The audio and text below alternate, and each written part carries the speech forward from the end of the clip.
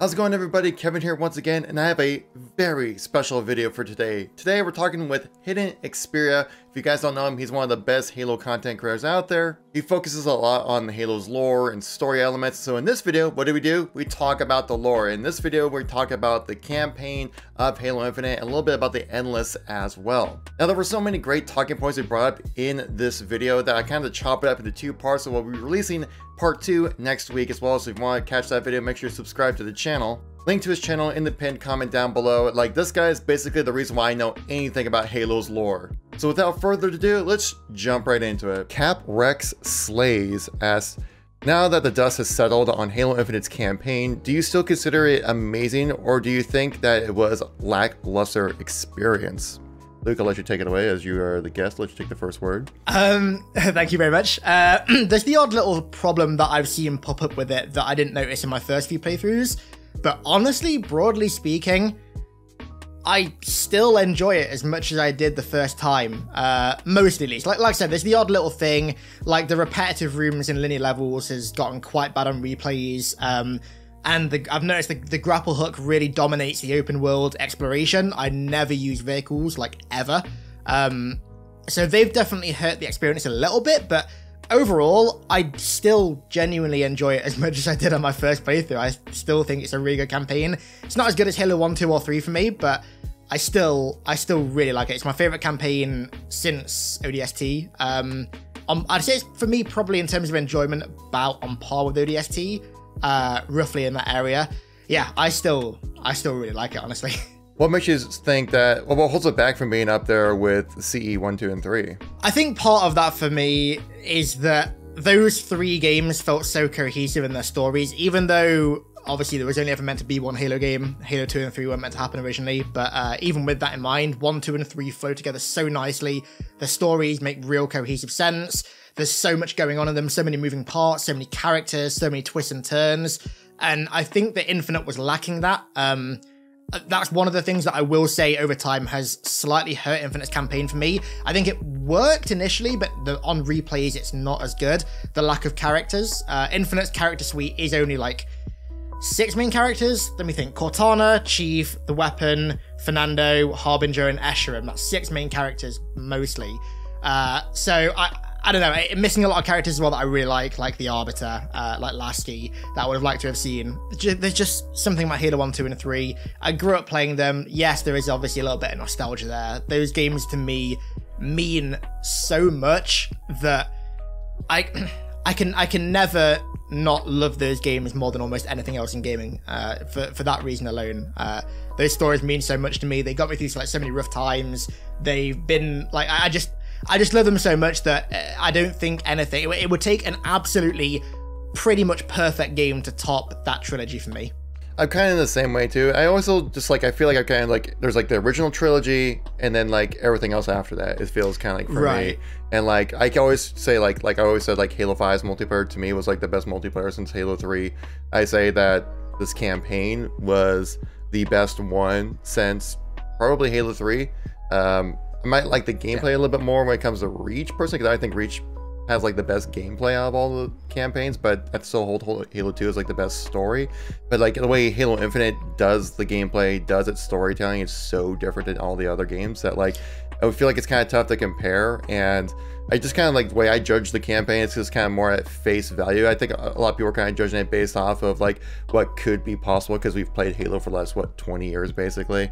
That like we right. know what is possible with a game like Halo. When we don't see that in the game, we kind of feel a little disappointed, you know. But then I just kind of take a step back and just kind of judge the game for what it is. And I still think the game is freaking awesome. Like I've only played it once through I didn't complete everything. Uh, or at least I didn't do all like the forward operating bases. I didn't do all the uh, outposts and stuff like that. So I'm, on, I'm currently on my second playthrough. Slowly, I'm kind of focusing more on just getting better at you know ranked multiplayer. But uh, currently playing through my second playthrough on like ranked heroic Eh, not ranked rogue. Um, ranked. Oof. Oh, if, if only yeah. there, if only there was score uh, score attack, you know. oh yeah, true. That's a good point. Yeah, I'm on. I think I did uh, in the end like six playthroughs, and oh wow, uh, like yeah, you know it. obviously, I did. I did burn out a little bit. That's a little burnout, yeah. right, I, but I did it six times, right? So it was always going to happen. That's no fault of the game. Um, I just yeah, I, I really enjoy it. Um, I like the open world uh, take on Halo. Um, I do want to see some more linearity in the future. I think both open world and linear levels can both coexist very well. The li- linear levels have just got to be a lot better than the ones in Infinite because Warship Gbraakon, uh, Foundations, and uh, um, oh no, Command Spire. The Command Spire was really good as well, but mm. the other ones were like kind of meh, I, I, felt. So definitely the linear levels need some improvement, but I do want to see both linear and open uh, like in the same game together in the future. I, I don't think I could have a Halo game without both of those elements of the campaign anymore, honestly. Mm-hmm. Oh yeah, absolutely. Because like most of the linear portions of the game were like those interior Forerunner sections, which kind of just like reused the same a lot similar assets. Obviously, each section had their own personality to them a little bit, but it did feel a little same. Like there were some like those like you know U-turn ramps that you just kind of had to walk up, like they utilize like multiple times over. yeah. Which, I mean, like you know, every campaign re- reuses assets to kind of not to pad out the time, but just kind of like you know fill out the space, and it would make sense that like architecturally right that you would if Forerunners were making something they would they would just reuse the same kind of you know assets but like you can only do it so many times over you know yeah mm. i think as well one of the things that affected that was how lacking the engagements were in terms of variety. So, like, you look at Halo 1, Assault in the Control Room, that a lot of that level is just the same room over and over and over again, but the style of engagements is so varied in each in each room that it doesn't feel the same. Whereas a lot of the time in Infinite, you get into a room, all the AI just stood there waiting for you. There's like mostly the same the same like classes of enemy there there's at least for me, I didn't feel like there was that much variation in the engagements in the linear levels, which definitely hurt it a lot because a lot of the engagements felt the same in environments that also felt the same. So it's like a double whammy of just repetitiveness. Mm-hmm. Yeah, like the like kind of like the uh, not necessarily filler sections, but the space between the boss battles, basically, it's where it kind of yeah. gets a little samey. I thought the boss boss battles were great. Maybe not so much like the Tovarus Hyperius battle, but I think yeah. um, pretty much everything else though felt like unique uh, for the boss battles. Is what I'm saying is like most of them felt pretty unique, had different kind of gameplay elements, and they were fun to play. Like I, I still think like all the reviews that Halo Infinite got when it launched, like nines and nine point fives and stuff like that, are totally warranted. I'd still give the campaign like a nine, nine point five out of ten. I I I can't believe I can't remember what I gave it. I think nine point three or nine point one either or i'd keep it the same. I wouldn't i don't think my review score would really change. I still think i still enjoy the campaign as much now as i did on day one. I still think it's as good now as i did on day one. Uh, obviously I, I, say that maybe, maybe not as good because a few things have popped up but mm. more or less the same. I still enjoy it as much as i did pretty much on day one you sound like you're really contemplating like 9.3 or 9.1 like professor Xperia yeah. over here going like well there was a spelling error. I'm just trying to i'm trying to think why what i gave it. It was one of the two. But either way this i don't think i'd change the score. I think it's i think the score is good as is. Yeah i think like a solid nine like and then yeah. like i think you have above and then above that if anything. But yeah still a great campaign for sure. Uh, random player 105 asks do you think we'll ever go to a different place other than Zeta Halo in the future campaign expansions. Um, I hope so. I hope so as well. Yeah, um, I've seen some of the concept art out there. Uh, that was like from the uh, Halo art, Halo Infinite art book, where at least it showed like one section that was kind of broken out. That was like completely like desert looking kind of atmosphere to the whole thing, compared to like most of the other stuff that they showcased was kind of like you know like the Pacific Northwest woodlands, mountains kind of range kind of stuff. So, I mean, obviously that's concept art. Can't take it literally. So, but and plus we saw like a desert area kind of thing in like the intro uh, teaser announcement back in 2018. Of course, that was also more kind of like a recruitment video for the engine to showcase the engine rather than actually like, hey, this is what we're gonna be doing in the game and stuff like that. But I would kind of expect to see like some kind of different variation on Zeta Halo. I think we still have a lot more storytelling to do on Zeta Halo before we think about leaving it. Um, I think at least like two major campaign drops would happen before we even think about leaving Zeta Halo because there's just so much like awesome storytelling still need to be done from just what we played in the original campaign and also just what's there with the lore of Zeta Halo as well. Um, but well, what do you think, Luke? Do you think we'll ever leave Zeta Halo, and what kind of stuff would you like to see? I think so. I definitely think we will do at some point. Um, I, would love to return to Reach at some point. I think there's a lot of storytelling to be done there. I think they could do some real good storytelling with Blue Team going back to Reach. I something I've always wanted to see is Chief going back to Reach with the Arbiter. Considering like obviously they were on different sides of the war at that time, the Arbiter was partly responsible for everything that happened on Reach. I'd love to see those two together on Reach. It'd be quite a sobering moment. Uh, there's also like, I mean, to list off the amount of places in the galaxy I'd like to go to. Like, I'd love to go to Maethrillian at some point. I'd love to return to Earth. I'd love to go to Luna and Mars. And there's just there's so many other places that I'd love to go to. Uh, I'd love to return to the Ark at some point as well. Uh, but that said, I don't want to just skip over Zeta Halo because that is my favorite location in the entire Halo universe. The lore and the history of that ring is frankly absurd. There's so much good stuff there for stories to dive into, to flesh out, to incorporate into the main storyline, and to add like a creepy tone or like a, a real deep, disturbing tone to main stories. And I don't want to leave Zeta Halo before that potential was realized. You know, like there's so Oh, yeah. much there Oh, yeah. that like that one of the things that i one of the slight issues i do have about the main campaign is that there maybe wasn't enough of that deep lore integrated even in like side objectives or something into the main campaign. And i'm hoping that dlcs do that because this, there's just I, i'll keep saying it pun very much intended at this point there is infinite potential with zeta halo. There really the is. location the lore there's there's so much. And as much as i want to go to reach i want to go back to earth i want to go to Maethrillian, i want to go to the ark I don't want to squander the opportunity that we have on Zeta Halo and skip over loads of cool stuff just so we do that sooner. Yeah, I think that's kind of one of the reasons why they chose Zeta Halo because one, it's just so rich in lore, and plus it puts us back on a Halo ring for a Halo game, which I think Yeah. was, was the last time we were on a Halo ring. I guess technically it was Halo 3, though it didn't really feel like it, you know? Yeah. Yeah, it was only for a brief moment as well. Yeah, Last yeah. the last r- real time I'd say was Halo 2.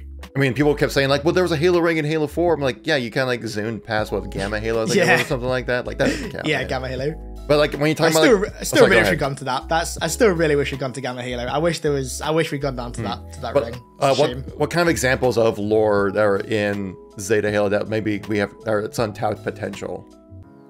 all the stuff to do with the ancient humans and the Palace of Pain and what the primordial Faber and Mendicant Bias did to the ancient humans in the Palace of Pain, where like forcibly extracted their Gayash, which is hard to describe what that is. Basically, for those who haven't read the books, kind of like your soul in a way. They did this really painful thing where they pulled the Gayash out of ancient humans. Um, to they said it was to try and find a cure for the flood. At least that's what Faber was doing at first, but in the end, when Faber started working with a primordial and mendic- mendicant bias, it was just for like their sadistic enjoyment. Um, So there's- there's even fake news in Halo. So yeah. exactly, exactly. There's just there's so much deep, creepy lore like that uh, to do with the flood, the precursors, the Forerunners, the ancient humans.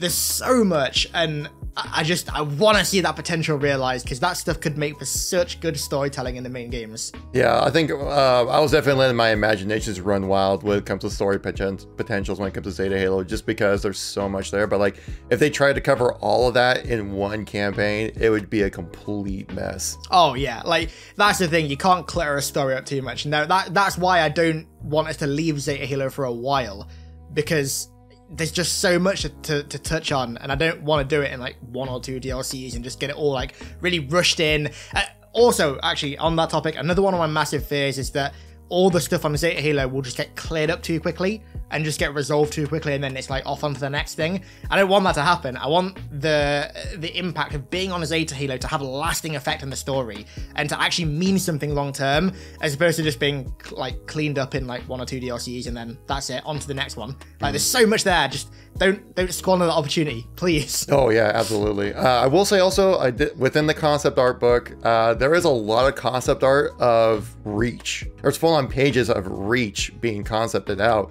So I think it probably was a potential that we were going to go to Reach in some capacity. I, honestly, I thought since we are going to do like Heroes of Reach for the campaign, or not for the multiplayer deal or season. Now I thought it was gonna be like a little kind of like playable kind of side story kind of thing, kind of like a loose story to kind of like tie everything together, kind of like how like Call of Duty does with Warzone, their season storytelling kind of stuff. Sadly, we didn't really get much of that. So there is definitely potential out there. Maybe something was created. Um, I do remember that there was like those from the 2020 campaign reveal. Uh, that there was like those three red dots on Chief's helmet that we just never saw within the campaign. and I'm like, yeah, I'm going to get bias.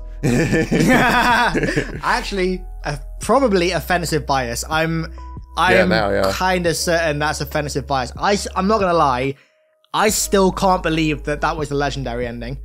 I'm still, yeah. my brain is still quite blown from that. Like that is still, I, I yeah, my my brain is just fried from that still. Um, the the mere thought that that that scene with the three red dots that was from Infinite's campaign at some point was more than likely offensive bias in a campaign is just insane to me. like I'm I'm actually I'm actually about to get on my knees and beg right now for that to be in a DLC because if that doesn't end up happening in a DLC, I'm going to be so disappointed. Mm. Well, again, like bring up the concept art. I keep bringing it up, but there were some really interesting things in there. was like, uh, like this one kind of boss battle kind of looking thing, where it's like a big forerunner structure, like not the size of a guardian, but like not exactly small either, like pretty damn large. That like there's like three or four different concepts of like this big forerunner structure like like character that comes out one of those had the three red dots on it i've pointed this out multiple times in different videos but like i think this was just like some kind of cut content that we might see like with the next dlc or something like that when it comes to uh, Halo Infinite. Of course, that's just tinfoil hat theory, but I mean, like, it seems like it's already been modeled out and probably story written yeah. and voice acted, so it probably just needs to maybe just uh, have connecting tissue, you know, around it, create I mean, better it makes sense as well because there was that whole Halo of the Endless thing that was patented, and if you've seen the ending and the legendary ending, you'll know how offensive bias plays into the Endless and how it's mm. probably going to be our ally in some capacity. So, like, it, it, would make sense for that to happen, and also the fact that clearly that scene had made it past like uh like storyboarding, it had made it past like the idea phase.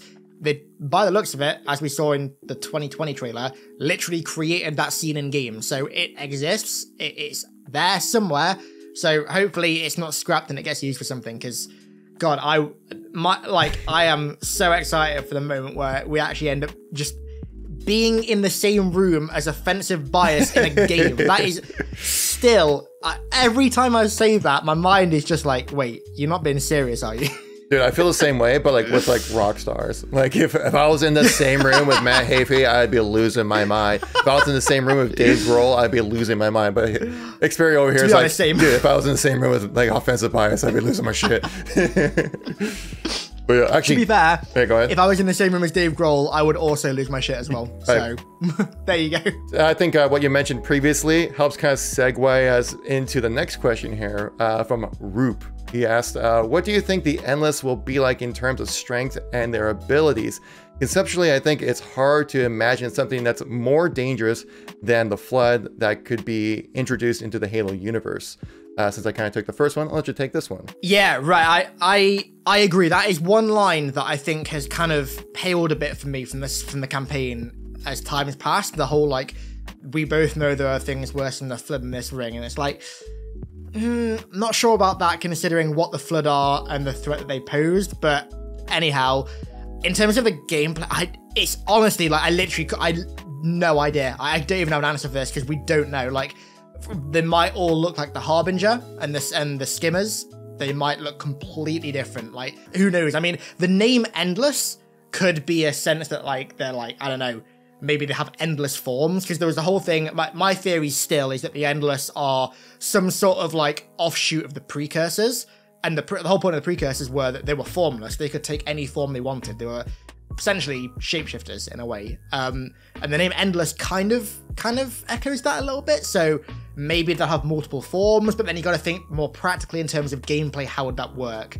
You couldn't like like the whole thing with the precursor. They could kind of become like anything they wanted. If, like technically, you couldn't do that in gameplay. Like you couldn't have the enemy suddenly become a chair or suddenly become like a lamppost or something. Like because like technically in the canon, like yeah, it could work, but like in terms of gameplay, like practically, I don't think that'd work. So honestly.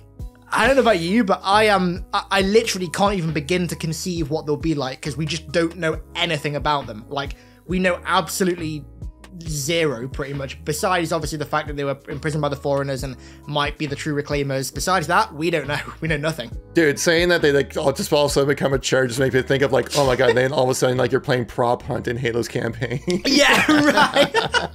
oh, actually, you know what? Have you ever played Prey 2017? No, I haven't. Okay, firstly, play that game. It is a goddamn masterpiece. And secondly, the the Typhons in that can do that. They can be the, the enemy can become any object.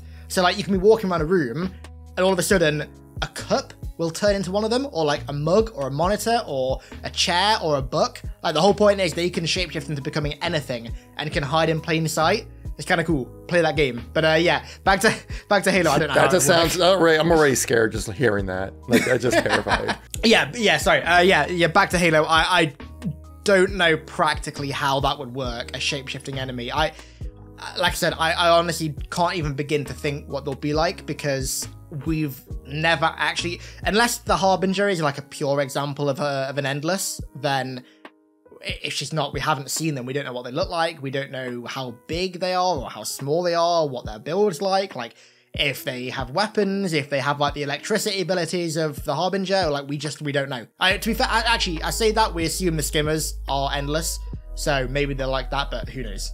Um, I say there's two ways that they can maybe pull off their power. I think we kind of like saw maybe a glimpse of this. Uh, one of them being endless is that apparent since you know they're still around. I think what we, they said that they're unaffected by the Halo ring, right? Uh, so maybe they just don't have like a nervous system or something. Maybe they're like a jellyfish, I guess, or something like that. I don't know. True. That's a good point. Actually, I didn't think of that. That that basically they're endless because you can't end them by the Halo rings. That could be one way you can say that. And then since you can live through a Halo ring, that kind of makes you pretty immune to a lot of bad stuff. Which if they don't have a nervous system, that means the flood can't affect them either. Which again makes them way more dangerous because like with the ultimate right. evils out there, the ultimate like killing tools of the flood and Halo rings don't affect them, which would be kind of crazy. Of course, this is a little bit extension yeah. of what we are kind of already told within the campaign, so that could be a form of reason why they're called the Endless. Um, though I do think they might have some kind of concept of time that they can play around with. I think um, from one that like uh, when you beat the Harbinger at the end of the game, that uh, the Harbinger is sending out the signal, right? And then the weapons are like, oh, it's a really old signal that they're sending or something like that, which is like, where is this going to? We don't really know, at least from my memory. Yeah. And since it's like really weird that's happening like right in front of you, but the signal that she's sending is like super old, or which is either like either using like old tech, I guess, to send it, or sending it like maybe a message back in time to like the people to her endless people before like being captured on Zeta Halo or something like that or something going on right there. So and plus like especially since we once uh, Chief and the weapon get like you know teleported out of uh, that room, right? It's like what a few days later, right? When you know the weapon says it's yeah. more of a question of when we were there. So could that be like utilizing like uh, the tech from the endless to be able to kind of teleport through time or something like that? I think there's, and if that's the case, and that's probably what might be their thing. At least that's what I'm thinking. There's two different ways about going about it. Uh, when it comes to like actual, like directly, how do they hurt you? Um, it's tough to tell. I think they might just be using like guns and pew pews, but uh, yeah, you know, of course, it could, but you know, they could be using teleporting in melee or something like that. I'm not totally sure. Uh, but that's kind of like the way I think about it. In regards to the whole time travel thing, so I've seen quite a few people saying that time travel is going to be a thing. I don't think so. So, firstly, the the whole thing about the old signal, it could be that. My bet is that the, the, the signal is old because it contains data that is required to like unlock the endless or free the endless or whatever. And because of the containment facility they're in being very old, the data to unlock it is also old. Could be that. The whole thing with Chief going through the portal, and then I believe it's three days later. It's like three days he's in that portal. Yeah. Um, it's slip i'm assuming that was slipspace and a slipspace takes a, like a long time. Like for example mm. you know in halo 2 when uh, uh when In Amber Clad jumps through the portal with uh with regret to delta halo and it's like an instant thing from mombasa to delta halo. That time span uh i believe is two weeks. Same with in halo 3 from uh from floodgate to the ark. That's two weeks there. It takes them two weeks to go through that portal so it could just be a case of, of space being like a slow thing, taking a long time to go through a portal to travel through to your destination, because they did go to the complete other side of the ring. You can see the break in the ring on the other side of it at the end in that desert area, so they traveled a really long distance. It could just be a case of, of, of, of that. Um, there's also something that I think it's the Grand Edict says it in the legendary ending. I forgot the exact terminology that he uses, but he says, uh, we can't control time and we can't allow it to be theirs. And people took that as, I, I think a lot of people assumed that that meant that they can control time. Whereas what I think they meant is that the Forerunners locked them away so that they can't get a con- control of like history in a way. They can't Yeah. control uh, like what the Forerunners have said that the humans are the Reclaimers instead of them. They can't control that. I think. I mean, I'm not gonna lie. There are definitely hints at time travel being involved in some capacity, but I don't think that's what they're going for. But hmm. then again, I might be wrong. I might be entirely wrong. You never know.